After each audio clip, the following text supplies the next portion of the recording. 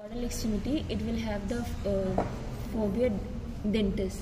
It will articulate with the dentis of the uh, axis. Okay, then we have uh, there is no uh, spine. There uh, on the dorsal surface there will be presence of a tuberosity only, and on the ventral surface the ventral crest is also in the form of tuberosity. And uh, the here the transverse process is called the wings al- atlo-alar wings and they will be directed caudally and ventrally.